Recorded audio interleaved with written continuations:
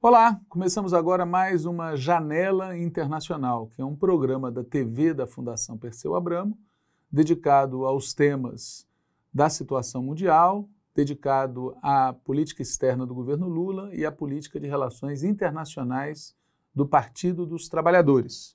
Este programa está sendo gravado no dia 6 de dezembro, uma quarta-feira, mais ou menos entre 9 e 10 da manhã. E ele irá ao ar neste próprio dia 6 de dezembro, quarta-feira, a partir das 15 horas. Portanto, se o mundo acabar entre hoje e as 15, não vai dar para noticiar no programa, evidentemente. Muito bem. Queria começar falando de um tema da situação mundial, né? O ataque de Israel contra a Palestina.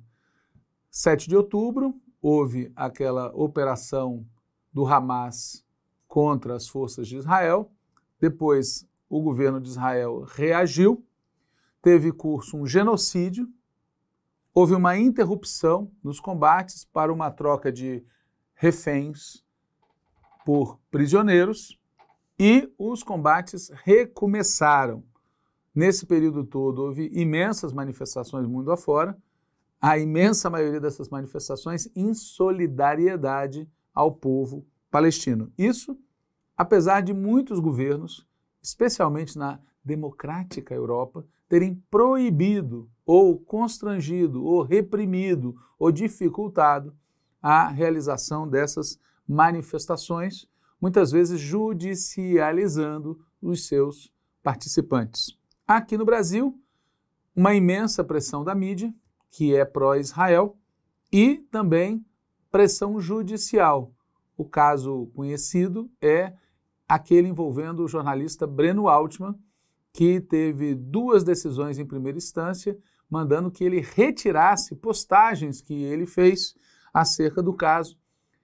A justiça não deliberou em definitivo, mas a acusação é de que ele seria antissemita, logo ele que tem ascendência judaica. É uma operação muito manjada, a operação de apresentar qualquer crítica ao Estado de Israel como se fosse uma crítica antissemita.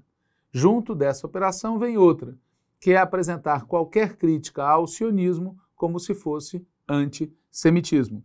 E aí a pergunta que a gente deve fazer é: isso é verdade? Qualquer crítica ao Estado de Israel é antissemita? Qualquer crítica ao sionismo é antissemita? Obviamente que não.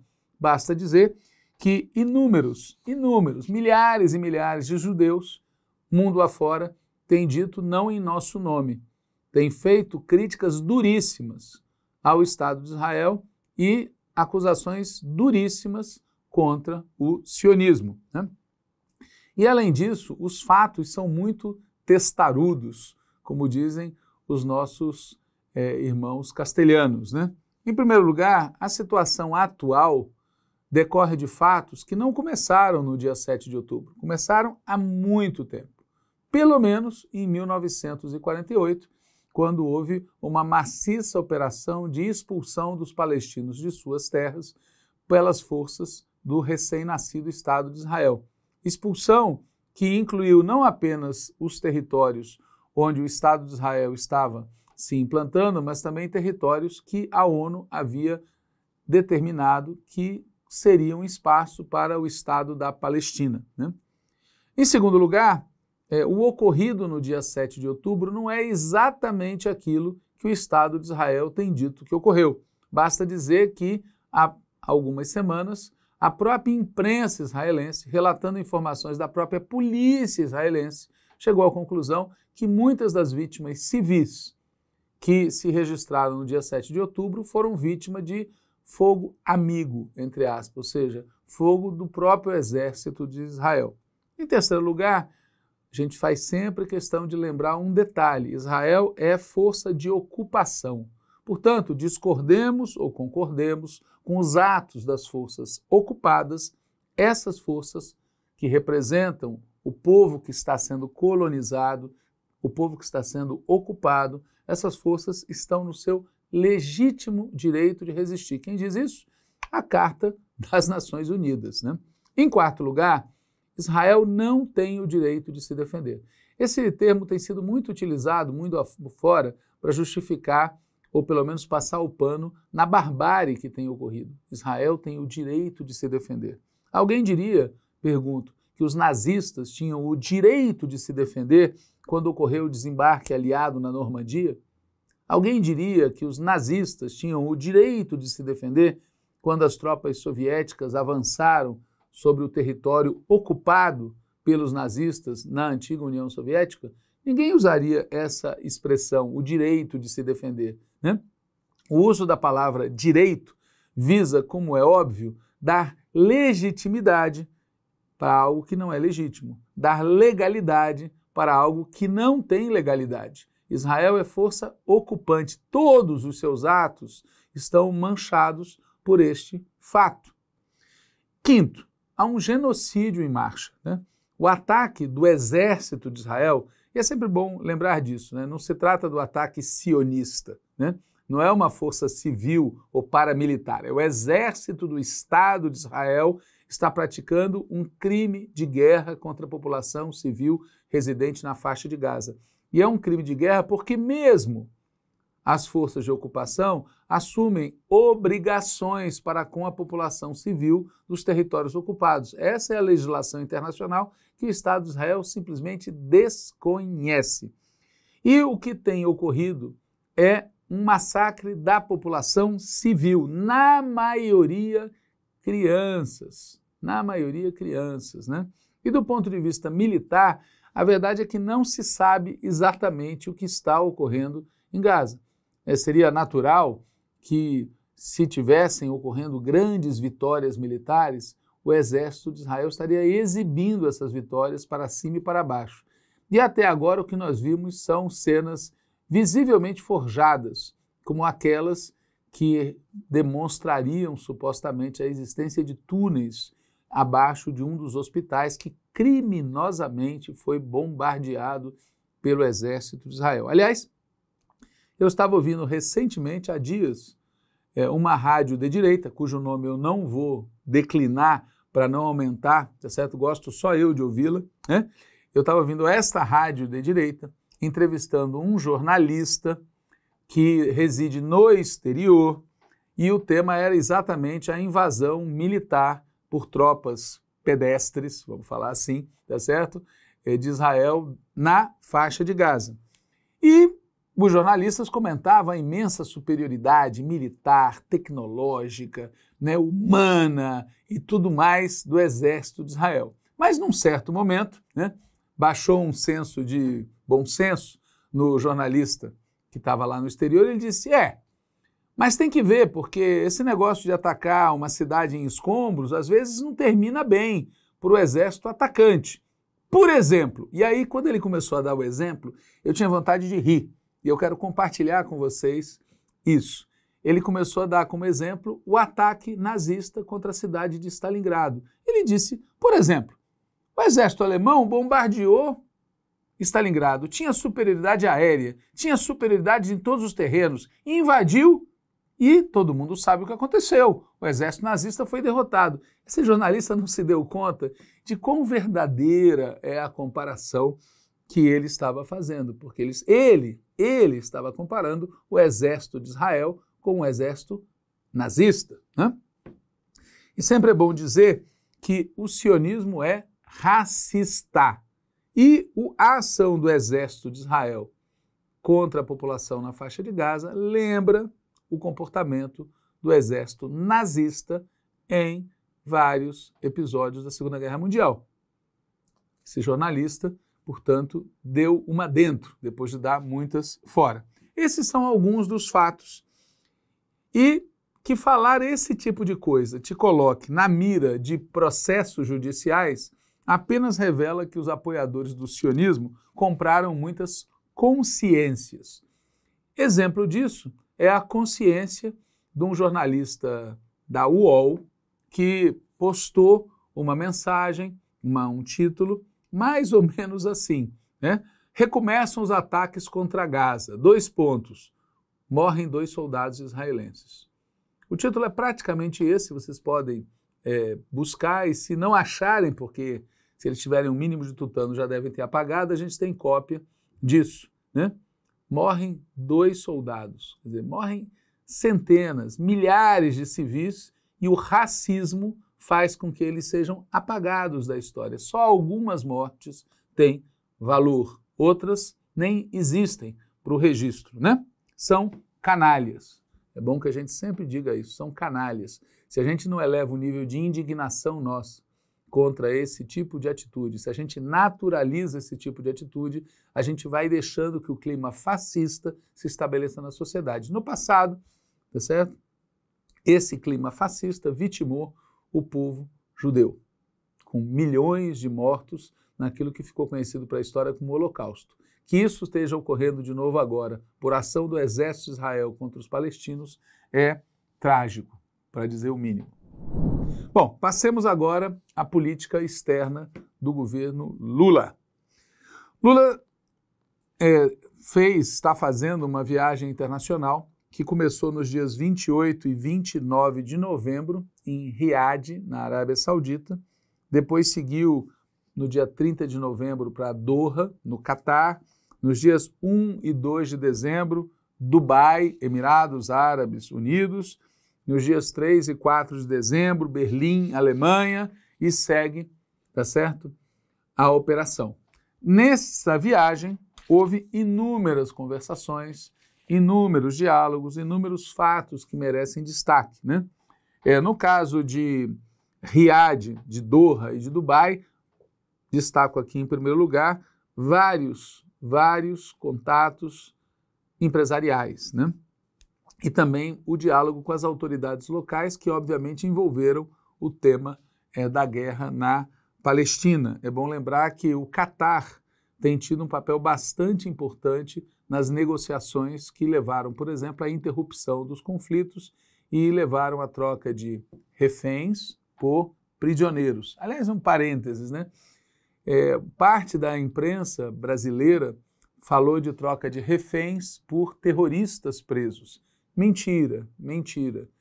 Como se demonstrou pelas cenas desses presos saindo da cadeia, em geral eram crianças quando tinham sido presas e continuam sendo crianças ou jovens de muito pouca idade, não é certo? Bom, fecha parênteses. Evidentemente, teve grande importância o que ocorreu em Dubai, que foi a abertura da COP28, com a participação de uma delegação muito é, fornida do governo brasileiro. E nesse momento, eu destacaria o fato do presidente Lula ter feito é, um discurso onde ele defendeu o redirecionamento dos gastos militares para combater a fome e a mudança climática. Né? Esse tema é um tema sobre o qual o presidente Lula tem insistido muito e a gente deve tocar o bumbo toda vez que ele faz isso. Porque o fato é, é os problemas que ocorrem no mundo hoje não ocorrem por conta é, da nossa incapacidade de resolvê-los ocorrem por conta das prioridades serem outras e ocorrem por conta do próprio sistema gerar esses problemas. Quando o presidente Lula chama atenção para o fato de que supostamente falta dinheiro para combater a fome e sobra dinheiro para fazer guerra, ele está chamando atenção para um dos aspectos mais destacados do capitalismo e do imperialismo contemporâneo, que é a tendência à guerra, a tendência aos gastos militares, a tendência aqueles gastos que não contribuem absolutamente nada para a vida cotidiana, só contribuem para a morte. Né? Lula também criticou duramente a atitude dos chamados governos ricos que prometem e cobram, mas não fazem e não dão dinheiro para que outros o façam. Né? Ele tem feito reiteradas cobranças nesse sentido, porque o cinismo é, dos governos de direita, de centro e de suposta esquerda, mundo afora, dos países ricos é brutal, né? porque fazem exigências aos demais, fazem promessas, não cumprem no seu próprio território essas exigências e não cumprem nenhuma das promessas. Né? Houve inúmeras é, reuniões é, bilaterais e, em seguida, Lula foi para a Alemanha. tanto na Alemanha quanto nas reuniões bilaterais durante a COP, naquele período veio à tona um tema que a gente tem tratado muito aqui no Janela Internacional, que é o do acordo Mercosul-União Europeia. Né? Como todo mundo deve estar percebendo, é um tema é, sobre o qual se fala de tudo, né? tem opiniões muito diferentes. Né? A opinião que nós compartilhamos é aquela que foi proferida há algum tempo pelo assessor especial do presidente da República, nosso companheiro Celso Amorim, que foi responsável, titular é, do Ministério de Relações Exteriores durante todo o primeiro mandato do presidente Lula. Celso Amorim disse, num certo momento, que o acordo proposto pela União Europeia era neocolonial, né? se assemelhava ao acordo que os Estados Unidos queriam que fosse adotado e que foi deixado de lado em 2005, o famoso acordo que levaria à formação da ALCA. Né? O acordo Mercosul-União Europeia prevê uma série de coisas, entre as quais abrir né, é, às empresas europeias a possibilidade de participar das compras feitas pelo governo brasileiro. Essas compras têm uma enorme importância como parte da política industrial brasileira da política de fomento à economia nacional. Óbvio que se você compra lá fora, você gera empregos lá fora. E se você quer gerar empregos aqui dentro, você tem que prever que você vai ter um certo protecionismo, sim, tá certo? Você vai garantir o acesso às empresas nacionais, né? Enfim, esse é um dos vários aspectos do acordo que são contra a soberania nacional e contra o desenvolvimento. Há outros, há outros e eles foram agravados por uma carta suplementar da União Europeia fazendo ameaças de retaliação se não fossem cumpridos determinados requisitos. Né? O fato é que esse acordo, que foi negociado pelos então presidentes Macri e Cavernícola, deveria ter sido jogado na lata do lixo e ter começado do zero. Infelizmente, como nós já comentamos, prevaleceu no governo brasileiro outra postura que foi a postura de seguir negociando e buscar retirar do acordo aquilo que é, não nos convinha. Evidentemente, essa opção é uma opção muito perigosa, porque, como sabem aqueles que participaram de acordos, existem questões que vão ficando para trás e sobre as quais você já não consegue recuar. E nos últimos dias, nas últimas semanas, cresceu a pressão para que o Brasil aceitasse o acordo tal como ele estava, ou com pequenas tá certo? Alterações. Essa pressão cresceu muito, mas nós sabemos também que lá na Europa há quem não queira é, esse acordo por razões similares às nossas, mas diametralmente opostas. Né? E isso ficou claro nas declarações do presidente francês Macron, frente às quais o presidente Lula é, optou por dizer que, que fique claro que o acordo não está saindo, não por nossa responsabilidade, mas por responsabilidade é, de governos europeus.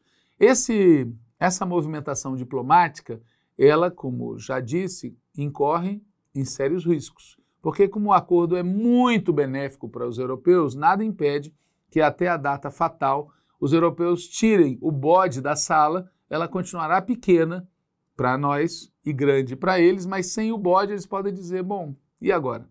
Então, eu estou na torcida, como Paulo Nogueira Batista e muitos outros, para que esse acordo naufrague. Ele é péssimo para o Brasil, ele é péssimo para as perspectivas de médio e longo prazo da nossa nação, da nossa economia e do nosso povo. Veremos até semana que vem o que de fato terá ocorrido, né? Porque agora, nos próximos dias, teremos um encontro. Me faltou até a voz de tanta indignação, para dizer o mínimo teremos o um encontro do Mercosul no Rio de Janeiro e aí esperamos esse assunto será resolvido. Esperamos. Sempre as forças do mal, como diria com mal com L, tá certo? Sempre as forças do mal buscam deixar uma porta aberta para continuar fazendo maldade. Né?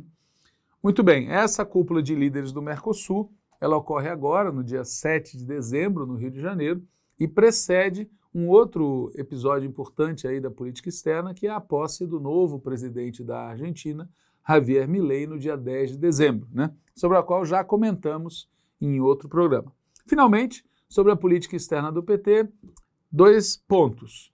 A realização em novembro, no final de novembro, do EPTEX, o Encontro de Petistas no Exterior, É, há vários relatos a respeito, houve resoluções aprovadas e a gente vai convidar para falar nas próximas edições do Janela Internacional quem lá esteve, porque nada melhor do que os que lá estiveram para nos contar como foi. Né? E agora, no dia 8 de dezembro, né, sexta-feira, depois de amanhã, portanto, hoje é dia 6, nós teremos é, uma conferência, o início de uma conferência eleitoral nacional, no qual a Fundação Perseu Abramo está envolvida, e nessa conferência haverá uma mesa sobre política é, internacional e eleições municipais. Né?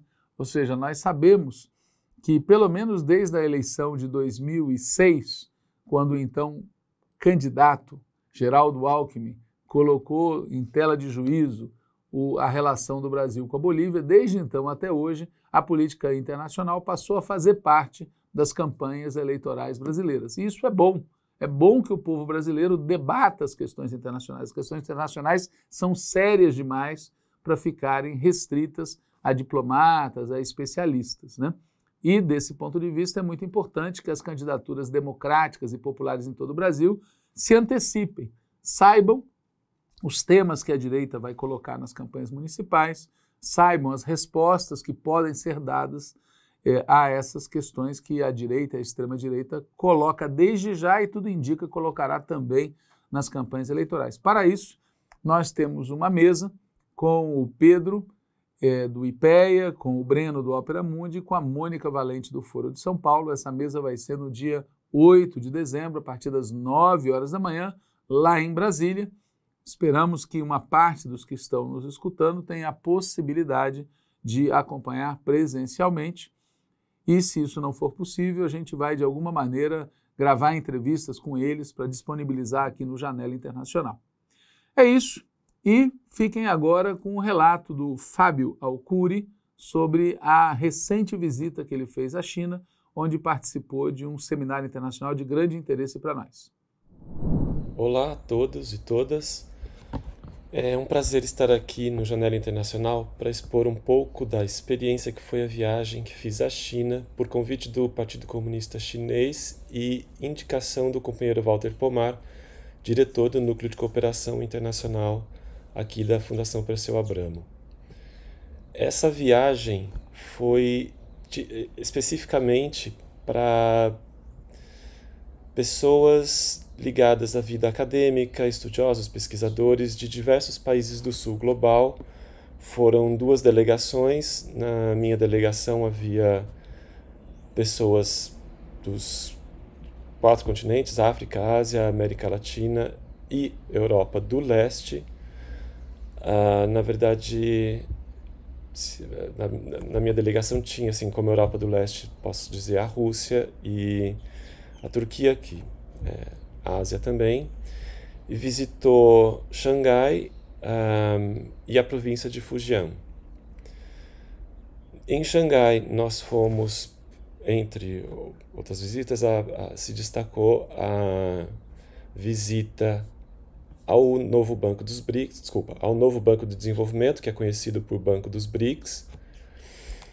E foi interessante, uh, nós tivemos ali uma apresentação muito breve do funcionamento do banco, foi interessante a, eles terem frisado duas políticas atuais, que são os empréstimos, principalmente para o desenvolvimento da economia verde, é, e a meta interna da, do banco de ter pelo menos 40% de mulheres no seu quadro de funcionários até o final da gestão Dilma.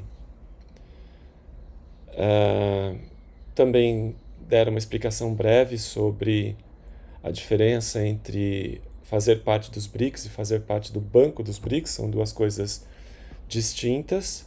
Uh, tanto é que o, as, os países que, que compõem o Banco dos BRICS não são os mesmos, apesar de alguns coincidirem, claro, os países originais são fazem parte do banco, fazem parte dos BRICS, mas no banco, por exemplo, você tem Bangladesh, Egito e a partir do ano que vem o Uruguai, que não são membros do BRICS, né, membros plenos. O Egito ainda vai entrar também foi recém-admitido, mas o Uruguai ainda não. E Bangladesh também não. É...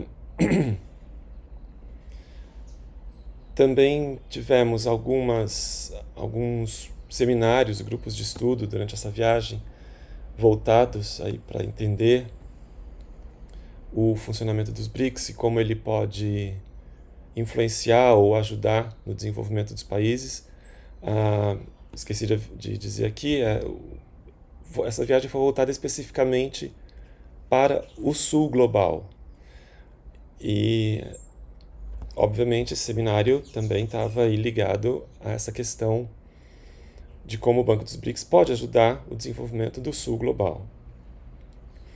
Também ao longo da viagem fizemos, já em Fujian, visitas a algumas alguns trabalhos, digamos, de desenvolvimento da província, uh, trabalhos sociais, um, combate à pobreza, a pesquisas na, nas, nas áreas de tecnologia de ponta, nas áreas de, de tecnologia de agronomia, uh, já falei aqui erradicação da pobreza, mas também a questão da moradia, educação, saúde, cuidados, cuidados às, às populações mais vulneráveis, sobretudo, no caso chinês, tem, tem tido muito a, a questão dos idosos cujos filhos, a, a, por conta até da política de filho único, os filhos têm que trabalhar, têm que morar em outra cidade, coisas do tipo, e os, os pais acabam ficando desassistidos. Então, nós fomos visitar um centro voltado especificamente para essas pessoas, que é muito interessante, porque não é só um centro de acolhimento, mas também um centro de valorização dessas pessoas que tenta uh, fazê-las sentir-se úteis na medida do possível, ou valorizar aquilo no qual elas são, aquilo no qual elas trabalharam a vida inteira, ou naquilo no qual elas são boas para se sentirem produtivas. E também ensino de, de música, pintura, dança, enfim, uma, um cuidado geral com essas pessoas, inclusive a cuidado até com, com crianças. Crianças que precisam de creche ou coisas do tipo vão, frequentam esse local e podem ser cuidadas por essas pessoas. Uma, uma ideia assim bem interessante. Um, uma, um tema que foi levantado durante toda a viagem, não só nas atividades, mas também pelas pessoas da delegação, foi o exemplo do desenvolvimento chinês se ele poderia ser copiado ou não no, por outros países. Esse é um tema muito recorrente porque a China hoje, em questão de, de duas, menos de três décadas, saiu de um país subdesenvolvido, completamente subdesenvolvido, para um país é, produtor de tecnologia, uma tecnologia de ponta, não só uh, na área, não, não só em uma área, mas basicamente em todas as áreas. E em pesquisa também, em não só produção, mas ela pesquisa e aplica, aplicação, é, e isso pode ser replicado ou não em outros países? Bom, isso é um tema que gera uma discussão muito longa, que eu acho que não convém aqui.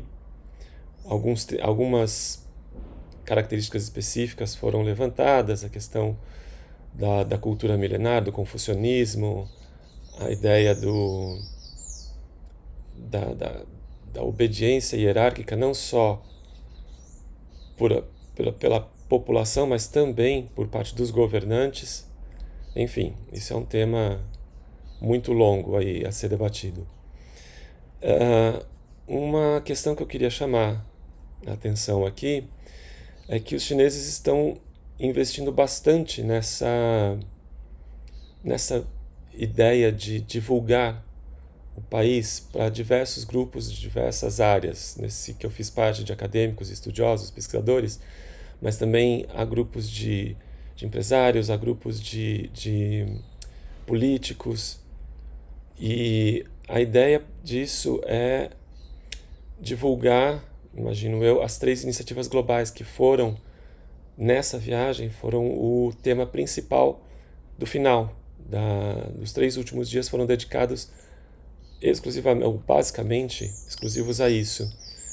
Nós fizemos um seminário de dia inteiro sobre isso, é, como o Sul Global pode contribuir para o desenvolvimento do mundo e foram levantadas essas, essas três iniciativas e aqui é interessante, vou colocar brevemente, as três iniciativas são desenvolvimento global, civilização global e segurança global. Ah, qual é a ideia por trás de cada uma? O desenvolvimento global é um conceito de desenvolvimento centrado na, nas pessoas, com benefício, com benefício para todos, para todo mundo, e não exclusivamente no desenvolvimento, no comércio, no desenvolvimento tecnológico, comércio, enfim, nas empresas. Não é um, um, uma ideia que a gente pode chamar de desenvolvimento capitalista, uma economia meramente capitalista centrada nas empresas, mas é importante é, frisar que a ideia deles é não adianta nada o desenvolvimento econômico se isso não trouxer prosperidade para as pessoas, se isso não trouxer uh, melhores condições de, vidas, de vida para as pessoas. Então, uh, hoje em dia, isso também pressupõe a defesa da natureza, o meio ambiente, né, de um modo geral. O desenvolvimento não pode mais ser pensado sem levar em conta a questão ambiental.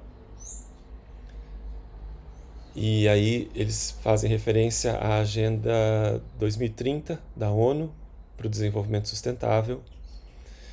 O segundo ponto, que é a civilização global, traz uma ideia de não haver distinção entre as civilizações, ou seja, não existe uma civilização melhor que a outra, mais desenvolvida que a outra. Cada civilização tem a sua especificidade, cada, sua, cada civilização teve a sua adaptação local. É, e uma não é melhor que a outra. Uma não pode ser vista como melhor que a outra. É, essa proposta é pelo respeito à diversidade das civilizações, pela promoção de alguns valores que seriam comuns à humanidade uh, e, e, atribui mais importância à herança e à inovação de cada civilização de acordo com, com a sua história, com o seu ambiente, com a sua cultura e fortalecer o intercâmbio e a cooperação internacional sem impor uh, ideias específicas de uma de um país ou de uma nação a outra. E por fim, a ideia da segurança global é a terceira iniciativa. Considera que a segurança é uma preocupação universal, ou seja, você tem que garantir uma segurança não só uma segurança em relação a conflitos, mas uma segurança econômica, uma segurança uh, ambiental, em todos os sentidos. É, porque hoje em dia uh, o, o, mundo, né, todas as nações enfrentam riscos e desafios que dos mais diversos tipos o tempo inteiro e isso gera uma busca por, por melhores condições de um país que às vezes atrapalha ou que às vezes prejudica outro país. Então, uma segurança global tem que ser vista através de um conceito multilateral, benefício mútuo, é, respeito entre todos, uma defesa do papel central da ONU e a promoção, coordenação e interação sólida entre países pela paz, pela resolução de questões é, críticas à, à, à, segurança global, mas não com conflito, senão com diálogo. É, esses, essas três iniciativas, a meu ver, elas acabam levando a uma nova interpretação do, do cenário ou da governança global. Uh, a partir do momento em que você coloca todos os países no mesmo nível, com alguns pontos em comum, em defesa comum, como o meio ambiente, a, a resolução de conflitos através de diálogo, e em uh, fóruns multilaterais, ou seja, sem a, a preponderância de um país sobre outro, sem a preponderância de uma cultura, sem a imposição de uma cultura, de uma nação sobre outras, isso questiona em muito o, o momento e o, o, o que nós vivemos hoje no mundo, em que você tem, por exemplo, na ONU, um Conselho de Segurança com cinco países que têm poder de veto. O exemplo recente aí que nós tivemos, muito recente, em que uma resolução proposta pelo Brasil no Conselho de Segurança foi aprovada por 12 países e um único vetou, ou seja, esse poder de veto já pressupõe uma hierarquia entre os países e essas iniciativas globais querem evitar exatamente essa ideia. Uh, então, a, a, promoção dessas iniciativas, a implementação dessas iniciativas, a meu ver, buscam um, um novo, uma nova conceituação ou um novo, uh, uma nova visão de mundo, até mesmo um questionamento sobre uh, o, o, sistema ONU, o sistema ONU, o sistema Bretton Woods também, por que não levantar isso? Que o mundo realmente precisa de uma nova organização para resolver os conflitos, para promover o bem, uh, o meio ambiente, o desenvolvimento comum, o combate à pobreza, o combate à fome, principalmente. Uh, e, bom, esse é, creio eu, esse foi o foco mais importante aí dessa viagem e que os chineses estão realmente dando muita importância para para divulgar essas ideias. Eu acho que esse é um bom resumo de como foi essa viagem e de como nós podemos começar um debate sobre a, o avanço e melhorias aí para a governança global. Obrigado.